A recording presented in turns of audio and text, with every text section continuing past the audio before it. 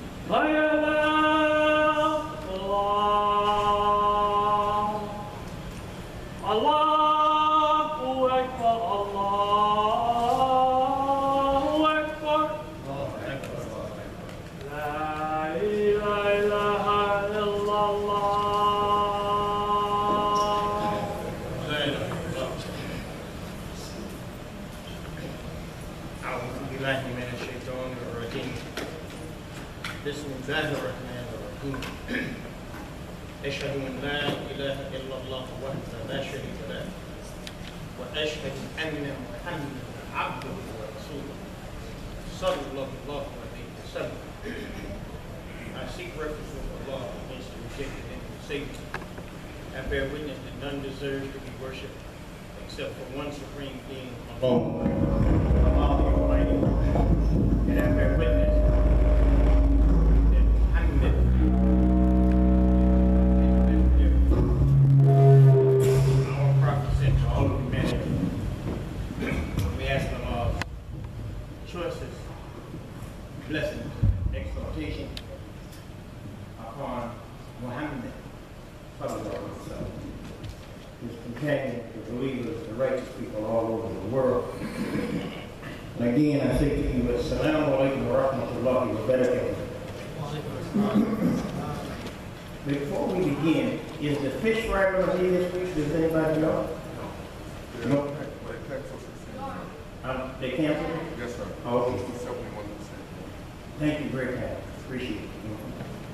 Yeah, that's a wonderful program. Great volunteers that uh, are working with that program and have raised us to a great esteem of respect in the community through that program. Great dollars and great wholesome food. And it's a way for us to fulfill our religious obligation. And most of the funds go to help the family Colleen, but also the school and the masjid that we have here. So we're thankful to them. So we say in the Quran it says, إِذَا زُلْزِلَتِ الْأَرْضُ زِلْزَالَهَا And when the earth is shook up, وَأَخْرَجَتِ الْأَرْضُ أَثْقَالَهَا And the earth will bring forth whatever is weighing it down. Well, all that is saying, oh, man, and then the human being will say, what's the matter with the earth? Young is being to have to be to that And on that day, the earth will be giving its news, its information. Be that because Rabbaka, its evolved, our head has inspired the earth.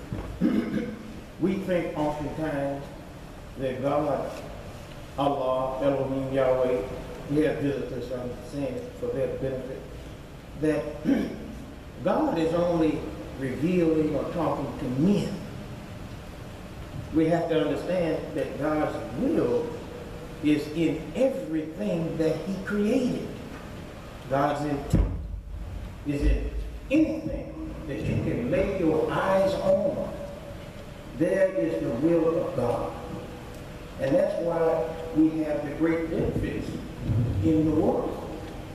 Because a blade of grass will carry out the will of God and allow itself to be eaten by a cow. And the cow will obey God's will and allow itself to be eaten by us.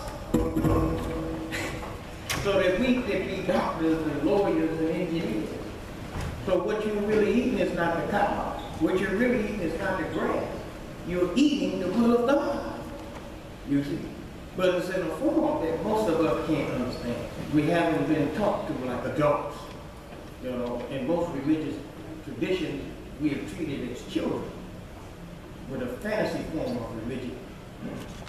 So, what I just recited from the Quran, the sacred book of the Muslims, can never be changed. And let me tell you this, um, people. You'll hear this sometime, maybe you'll be an old man, some of you. You're going to hear that when the world governments get into serious problems, where those world governments do not know how to get out of the problems, they consult the book of the Muslims called the Quran. They consult.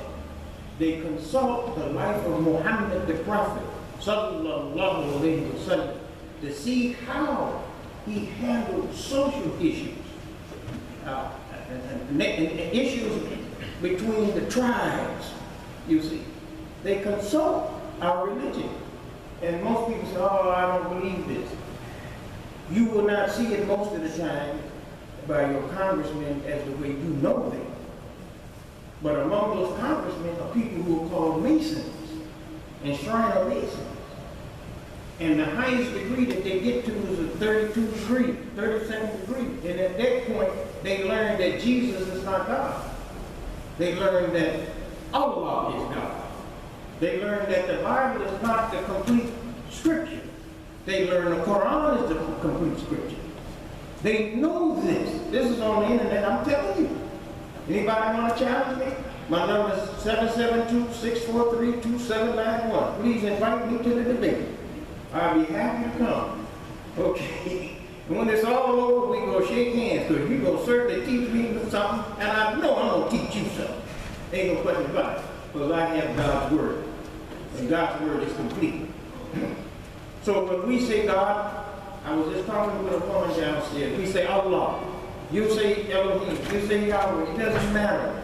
It doesn't matter. The force that controls you while you are sleeping, the force that controls the rotation of this planet, the force that has given birth to galaxies right now as women give birth to children, that force that never changes is Allah. And he is doing all of this by himself. He has no son. He has no daughter. He has no consort. We're talking about the creator of the heavens and the earth. The real creation. And those of you, you have scripture, you Muslims be patient with me. You have scripture, and your scripture says that no man has seen God. Please listen to this. And if you see God, you will die. This is not the Quran, this is another scripture. So therefore, if it says the other scripture says no man has seen God, and if you will see God, you will surely die, then it is telling you, I'm talking about the Bible, is saying itself that Jesus was not God. Because they saw Jesus. And the Bible said if you see Jesus, see God, you will surely die. They saw him with their eyes and they remained alive. So there's proof right in their own scripture that he was not God. Allah So why in the world would he give us a, a, a, an image of a man as God? It's a male talking about a male. Why? Is to keep women in second class situations where she will not complain. Good God Almighty. If I was a woman, I'd jump up and clap my feet together. That I have a religion that has revealed what's really going on. Most women will take a bunch of foolishness. They will take indecent, pejorative statements against them and will say nothing. Why? Because they've been given a religion where the man is God. So if the man is God, the man is what? The superior, woman is the what? Inferior. I'm showing you the Islamic religion, how it is a, it is a freedom movement. Now, why would the woman be in an inferior position when she is the one that gives you birth? Your daddy's not pregnant with you for nine months. Your daddy's not going to feed you every two hours when, you, when you're newly born. Who's going to do all of that It's going to be the woman. So how is she all of a sudden the inferior? How is she the one that's, that's the problem in the society? It's for manipulation. And all of us men in this room, we should fight that because we have mothers, we have daughters, we have sisters, we have wives, and we are Muslims. And we should not tolerate anything that's going to degenerate the status of a woman in the minds of the public. We men have to take that position. Inshallah, it's getting better. Allah Father. Because honorable men, you cannot rise any higher than your woman. The first teacher is the woman. So if you denigrate the woman, you are really denigrating yourself. It's just a matter of time. Akbar. So this is a religion of originality, meaning that you, you, you cannot change this religion. The way we pray, we've been praying like this way 1,400 years.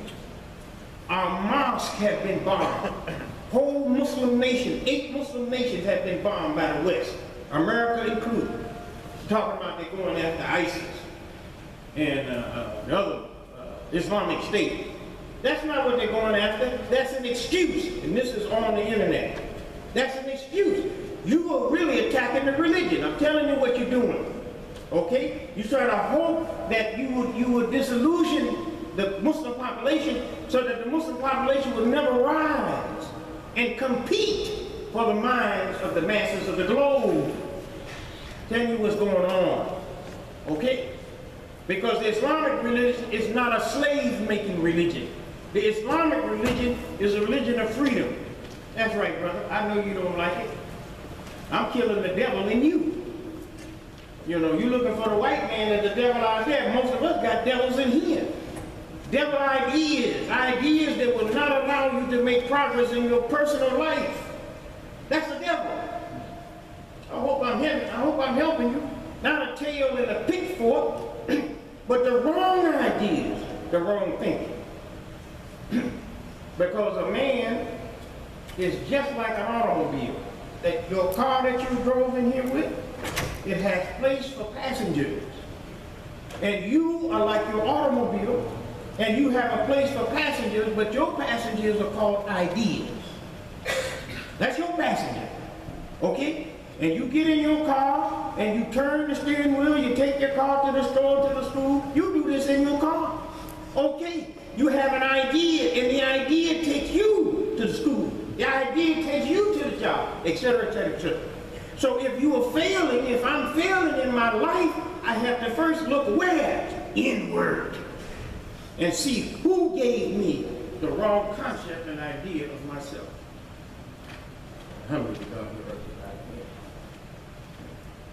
So honorable people, I know I have to hurry up, but you see this right here? See on my wrist right here? There's a clock. Right here. But you notice in your clock, you have to take your clock and you have to set it forward. You have to take your clock and you have to set it back. Do you know what I'm talking about? If seasons change, they say what? Spring forward. And they say what? Then turn it back. Thank you. Thank you. Okay, now listen what I'm telling you. I'm giving you the religion of Islam. That's not what they're talking about. When they use that in the culture, talking about advancing, set the clock forward. They're talking about getting the masses, blind masses, that will set their program, their business program forward to benefit the hands of a few people who run corporations. And when you start to wake up to the plan against your life, racism, sexism, you start to wake up and you hear these kind of conversations that you're hearing right now, then they want to turn the clock back. What do you mean turn the clock back? Turn your thinking back to the time when you were just an emotional fool. They're not talking about the clock on the wrist.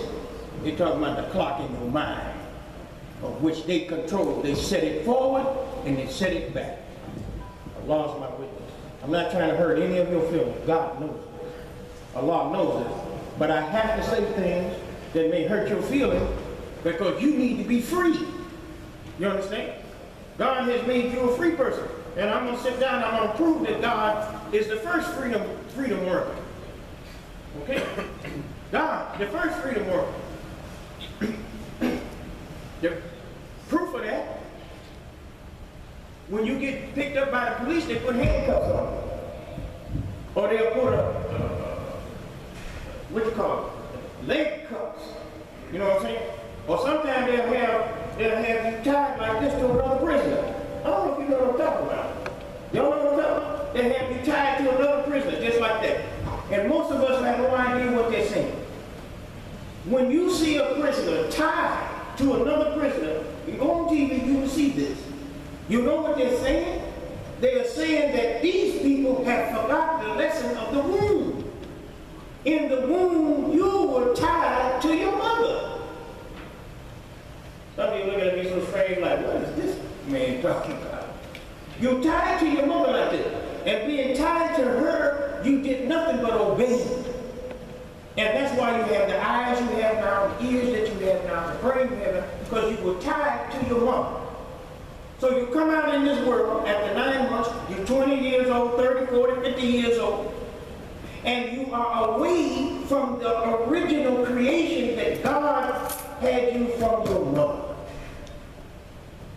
Shake your head, yeah, if I'm, if I'm helping some of you. I want to see, I don't know if I'm losing you. Okay? So, what the is saying, when they handcuff us and they tie us to each other, they are trying to get you to go back to the original state that you were in, in here, for nine months when you were tied to progress, when you were tied to innocence, when you were tied to cleanliness. Allah Akbar. See, you can read the Quran. See, you can read it in English. You can read it in Arabic. You can read the Bible in English. You can read the Torah in Hebrew, right? But the most important reading is to be able to read nature. You understand? Read nature. When you look at a human being, can you read him? Every human being is words. Listen to me. I'm looking at this brother here. He's words. I see A, I see, I see C, I see B in him. But then I see something stronger than that. I can read in him that he's a father. You hear what I'm saying to you now? I'm reading. I'm reading in him that he loves his son. That's his son that That's your son, isn't it? Okay? So I'm reading. This is the most important reading. Not just words on a page. Allah Akbar. And this is what Muhammad the Prophet is trying to raise us to. You have the Quran. Many Muslims have the Quran. They're Hafiz. But they don't know how to read society that they're in to improve it. That's the most important reading. Alhamdulillah. yeah, I was looking for you. May Allah bless you. So anyway, it says, He's as Zuzilla till Arshuzuzella. So I have to hurry uh, because I know you have to get back to your job. And it's talking about the earth and how the earth shakes. And in this verse, it's, it's speaking of the earth responding to Allah. You see? And that on one day, the earth against the misguided, corrupt man, the earth will behave as though it has received the revelation. I want you to think on this. This, this is no joke. Muhammad the Prophet, didn't he receive a revelation? Let me see you shake your head. At least do that. Do you know the earth receives revelation too? Yes. When Allah tells it to rain, it rains. When Allah tells the sun to rise, it rises. When Allah tells the sun to set. So everything receives revelation. But we receive revelation on the highest plane. Allah. So the earth and all of these elements that's in man's commercial interest, these things are going to speak out against the abuses that man himself has done. Now, I don't say this to you. I'll sit down. Because most people can't understand. And so we have to take this land and put it on the baby level because I'm looking at these children. You know,